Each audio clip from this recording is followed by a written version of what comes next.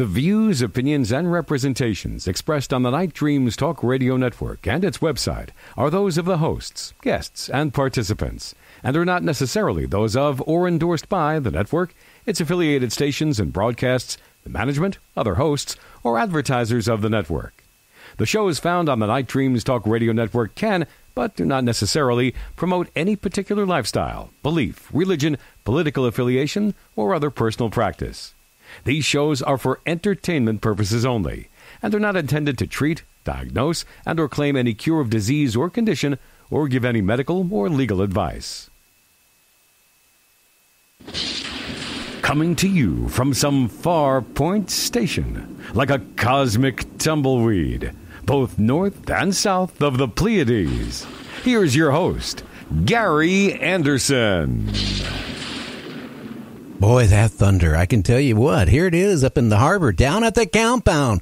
Well, summer disappeared today. We had a temperature at 69 degrees. It's going to drop down to about 50 tonight.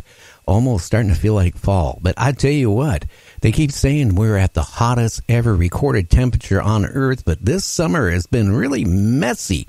Not like the past couple years, so it's been more chillier, at least to me than normal. Wow, what can I say? Well, tonight we got Rob. We're going to be talking about time travel. Hey, do you believe in time travel? I do believe that the capabilities of mankind, uh, I think uh, we've already been doing it. But maybe I am totally wrong. I also want to welcome a new station. It's in uh, Greenwater, Washington. They're a small community station that decided to start carrying our show as of tomorrow. Uh, I will be putting up their link up on the website here this weekend, and along with uh, the other stations that carry my show. Anyway, I'm going to do a little bit more commercials, and then we won't have any commercials for the next hour and a half unless you're listening to one of the commercial stations. We'll be right back. Do you have a paranormal story you want to share on Night Dreams Talk Radio? You could be a guest. Email us at nightdreamstalkradio at gmail.com. If you would like to hear Night Dreams Talk Radio on your local radio station, let them know. Tell them to check out www.nightdreamstalkradio.com and You can advertise your business on Night Dreams Talk Radio, and you will be heard worldwide. Why not contact us at nightdreamstalkradio at gmail.com.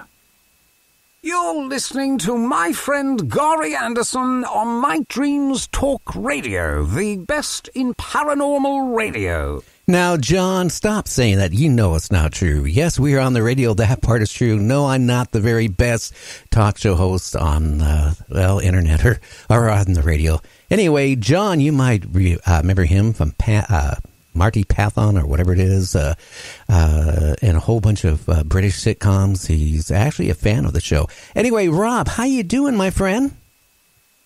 Hi, how you doing? I'm doing a lot better. I managed to get into the studio, and I'm in the cockpit, ready to go. so am I, and I'm glad to be back. Well, why don't you tell the listeners a little bit about yourself, and let's talk about some of the books you had published, and then we can go into my favorite subject. No, it's not sex, not at my age, and it's not motorcycles, but it's time travel. Well, that's my favorite subject too. Well, um, I am a writer and also a researcher of the paranormal. I've done a lot on UFOs, been a MUFON field investigator.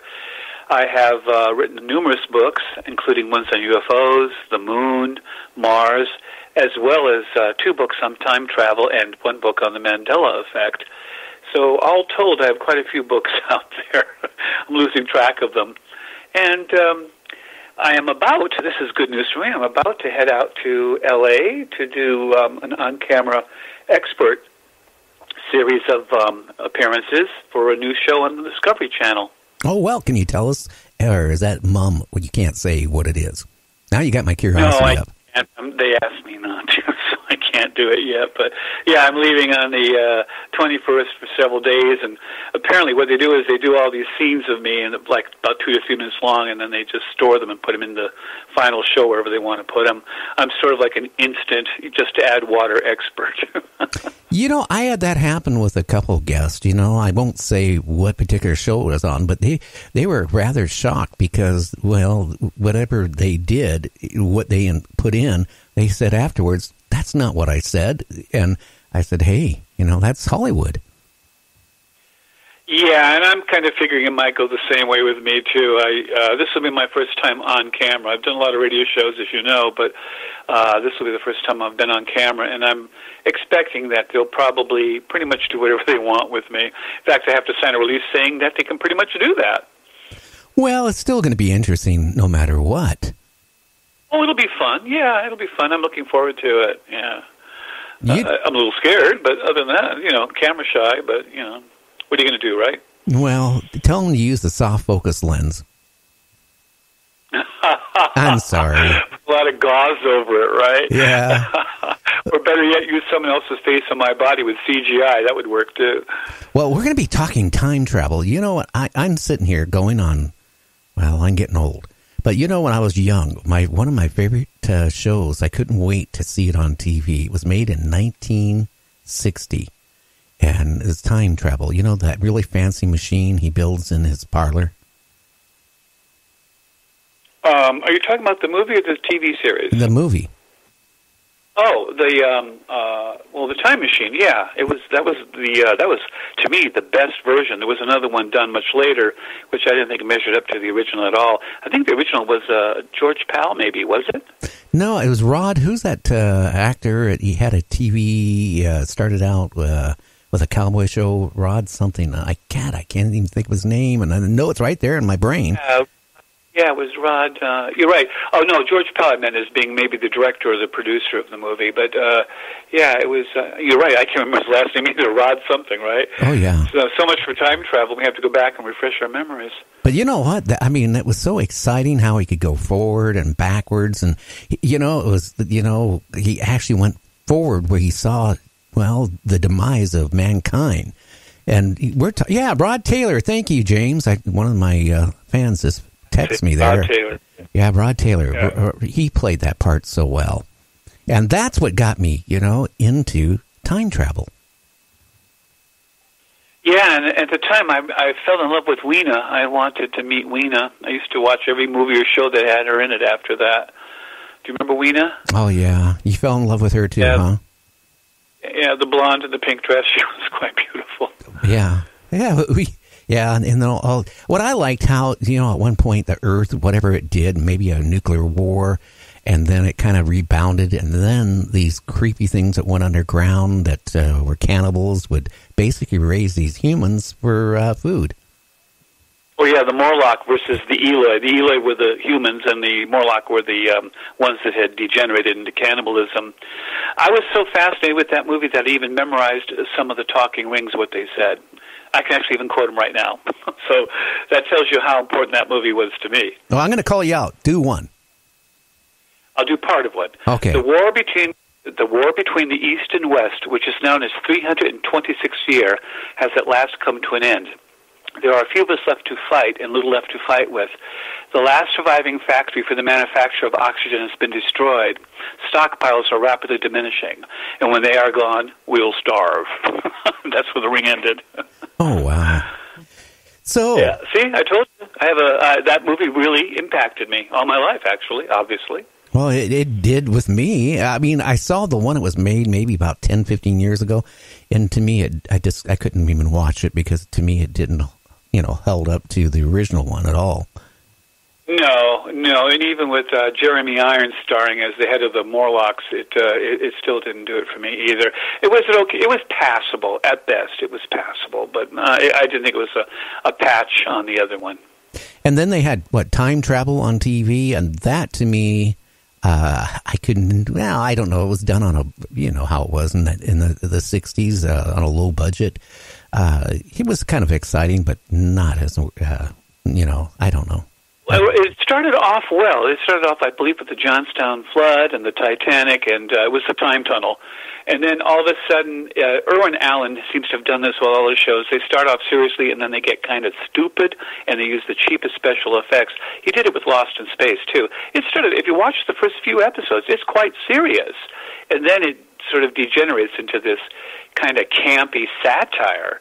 And and Time Tunnel did the same thing. It started off well, maybe for the first season, uh, maybe the first half of the first season, and then it slowly degenerated with all these sparks and flashes and people wearing gold lame uniforms and that sort of thing. But again, it was the '60s. Well, yeah, you know, I didn't even realize too. One of the guests I have on a regular basis, uh, he wrote a whole bunch of books about you know Star Trek, I Spy, which was one of my favorite TV shows. But you know, he was talking about the, the budgets they had. That when they were making these shows, you know, they weren't the studios weren't making you know the independent studios that did the filming wasn't making a lot of money. In a lot of cases, they didn't. And uh, a lot of people don't realize why Star Trek originally went off the air. It was because the cost to produce the show. The network wanted it. But, you know, uh, Lucille Ball, that owned uh, the uh, uh, studio that uh, originally did, like, you know, Desilu. yeah, Desilu uh, Productions, they went bankrupt because the costs of doing Star Trek uh, just kind of broke them. But when the budget starts, Right. About five hundred thousand dollars an episode, if I remember right. And even though the show had good ratings, even after the first several seasons, they just canned it because they just said it was simply too expensive an episode to produce. Yeah. And, and that's the problem with a lot of the shows. So they'll start out good, you know, the first, you know, couple episodes or the first season, and then they get their budgets cut. And then that's when I think they start getting corny. Well, see, they didn't cut the budget on um, Star Trek, and I don't think. Do you? You don't think Yeah, Star they Trek actually corny? did. Do you? They actually did cut the budget drastically the last season. Did they? Yeah. And Oh yeah, yeah. Did, I'm aware of that.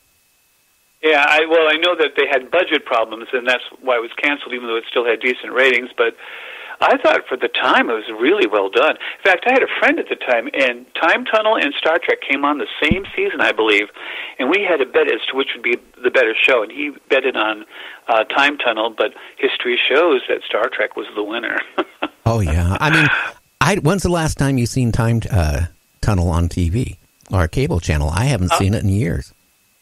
I uh, saw a few episodes not far back uh, on streaming. I looked, you know, it's amazing what you can find on YouTube, for instance, as well. Oh yeah. So, uh, uh, but I mean, there's so many of them at the time. Land of the Giants and all these different shows. You know, we sort of hopped from one sci-fi to another back then. Oh yeah. That one, I, I hate to say it, the land of the giants. I could definitely never get into that one. That was a low budget show right from the beginning to the end. Yeah, I'm and sorry. I think that was. I'm not sure on this one, but I think it